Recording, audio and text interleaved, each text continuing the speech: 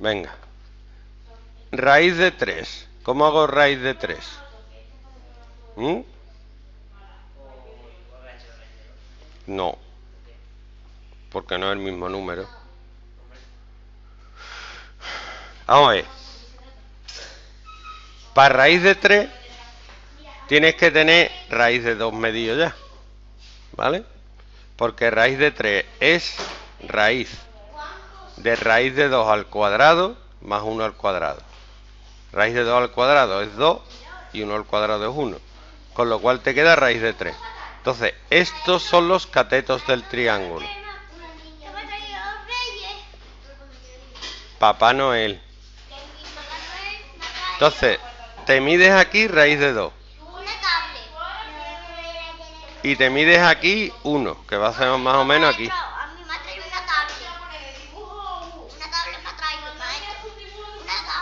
¿Te la has traído o no? ¿Qué?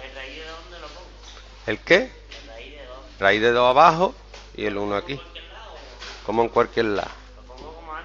No, lo, lo, coges con el compás y lo pones aquí. Como ya lo has medido antes. Lo pones aquí con el compás. Pero uno tiene que medir lo mismo. ¿Cuál? Pero eso no es de la serie ni nada.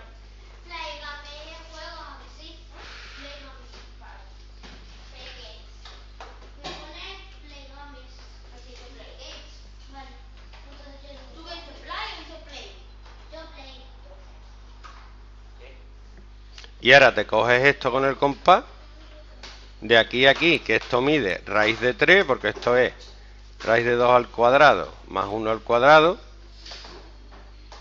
O sea, raíz. Esto sería raíz de 3, te coges esto con el compás y lo señalas aquí. Y raíz de 3 porque era aquí más o menos. Esto es fácil, fácil.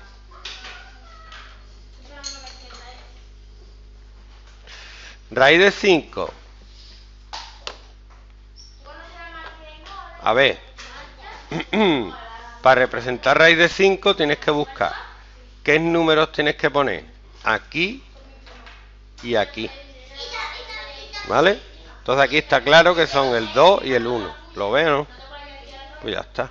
Te hace la línea, mides aquí, mides 2 y aquí mides 1. Coges esto con el compás. De aquí a aquí, que mide raíz de 5, lo pones aquí y hacéis te sale raíz de 5. Y así con todos.